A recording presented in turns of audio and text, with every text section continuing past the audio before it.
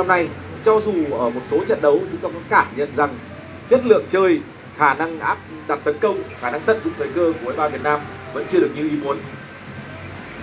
Nên nhớ rằng trong ờ, lịch sử SEA Games, thì bóng đá Việt Nam mới chỉ có hai lần, trong đó chính là ở năm 2022 này với SEA Games 31 trên sân nhà. Chúng ta mới có một vòng bảng của bóng đá Nam không để lọt đến lần nào. Lần trước đó là cách đây đã 23 học và gần đây với lần thắng cuối cùng của các đội tuyển quốc gia. Và là cánh phải của Liverpool chất lượng của những quả tạt như vừa rồi là thứ mà chúng ta cũng đã có thể thấy được từ Levando đặc biệt là trong các trận đấu gặp U23 Myanmar và Timor Leste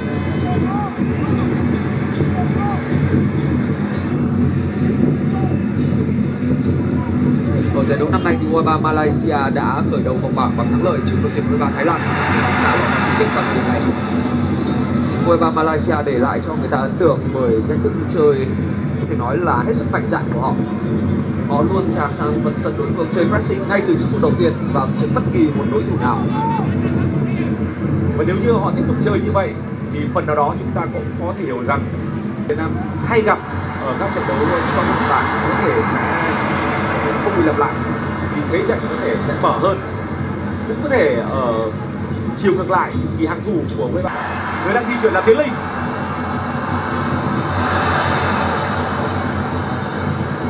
Trượt chân tương đối đáng tiếc ở khoảnh khắc quyết định.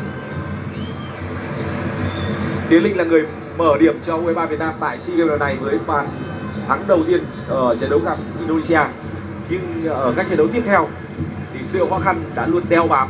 Ờ, cái lịch, người luôn phải giữ nhiệm vụ, neo vị trí nhiều hơn để dành những khoảng trống cho các đồng đội.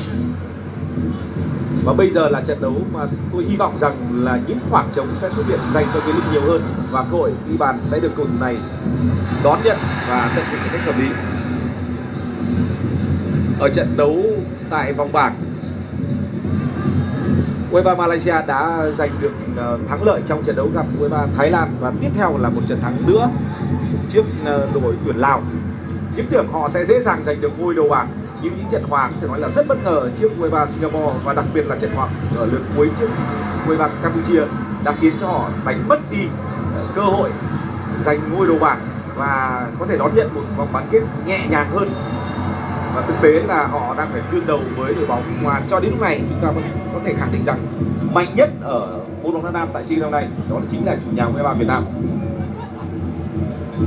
Và các đội bóng có rất nhiều những uh, sự tính toán và có lẽ là khi U23 Malaysia tung ra một đội hình với nhiều cầu thủ dự bị ở trận đấu gặp U23 Campuchia thì có lẽ là họ cũng đã tính toán cái khả năng này rồi. Dạ thì trận bán kết đầu tiên đã diễn ra vô cùng cởi mở. Đây là cơ hội dành cho U23 Malaysia. Bảo vệ của U23 Việt Nam đã chơi tốt. Và tranh chấp hợp lý của Thanh Bình. Insan Sudin là người cực kỳ nguy hiểm trên hàng tấn công của U23 Myanmar đặc biệt là trong hiệp đấu đầu tiên Indonesia sẵn sàng chơi ngang ngửa với U23 Thái Lan. Và đó cũng là một trận đấu đã tiêu tốn rất nhiều thể lực của U23 Thái Lan. Đội bóng đã lọt vào trận chung kết. Trong những phút cuối của hiệp phụ thì trọng tài đã phải làm việc vô cùng vất vả. Và đã có tới 4 chiếc thẻ đỏ được sử dụng bởi những cái đầu nóng đặc biệt là từ các cầu thủ U23 Indonesia Tiến Long tuyến tiền vệ vẫn là những cái quen thuộc như là Lý Công Hoàng Anh, Hùng Dũng và Hoàng Đức. Hoàng Anh ở trận đấu đầu tiên gặp U23 Indonesia đã chơi rất hay, đặc biệt ở các câu lạc bộ V-League. Cũng gần giống như những gì mà cầu thủ U23 Malaysia đã trải qua trong các trận đấu quan trọng tại vòng bảng. Họ nhập cuộc một cách không hề e ngại.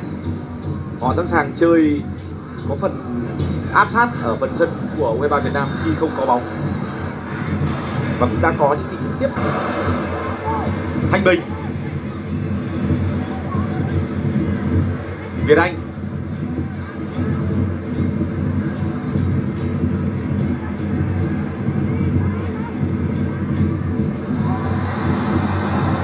Lý Công Hoàng Anh.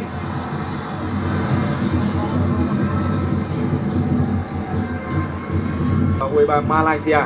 Trận bán kết 2 của môn bóng đá nam tại SEA Games 31 tỷ số đang là không đều.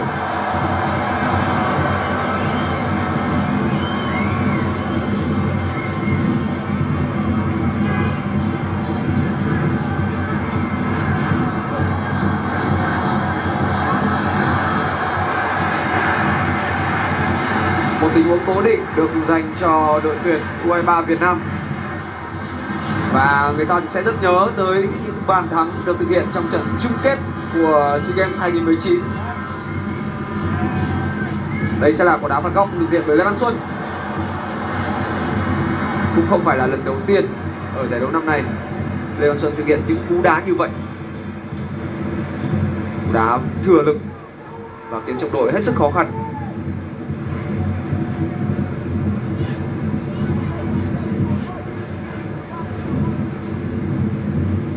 Quý vị và các bạn có thể theo dõi trọn vẹn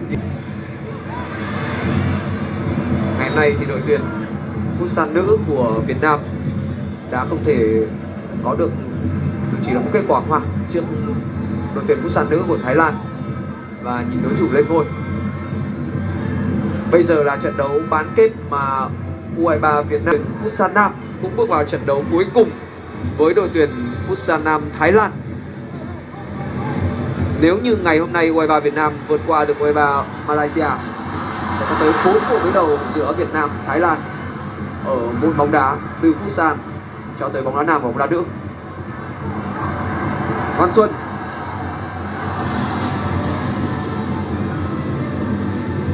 những nhịp xử lý của Lê Văn Xuân kể từ đầu trận là chưa thực sự hợp lý. nhưng cho đến lúc này thì tôi cũng cảm giác rằng Hoàng Đức và các đồng đội đang dần có được khả năng kiểm soát từ khu giữa sân. Chúng ta cần phải xây dựng bàn đạp trước khi hướng trái bóng đi phía trước. Để lấy được trái bóng trong chân của Đức và Đức là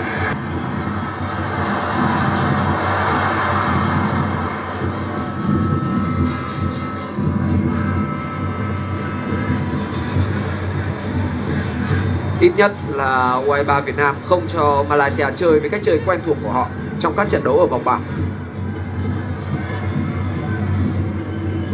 Khả năng kiểm soát của các tiền vệ U23 Việt Nam là tốt hơn so với những đối thủ mà U23 Malaysia đã trải qua trong các trận đấu trước đó.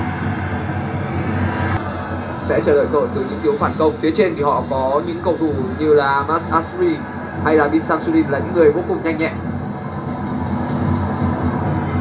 khi có bóng trong chân và triển khai tấn công thì cầu thủ Malaysia cũng thường đem đến sự lợi hại.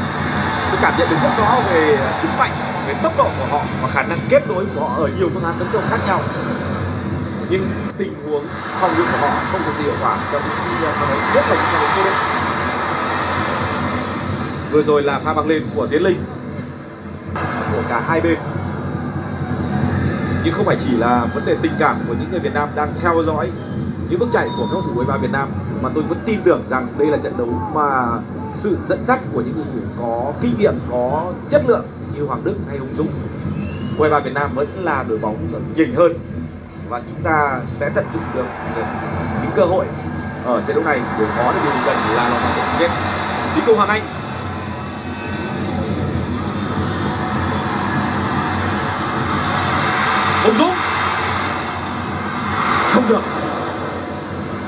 pha trả bóng vào hơi sâu.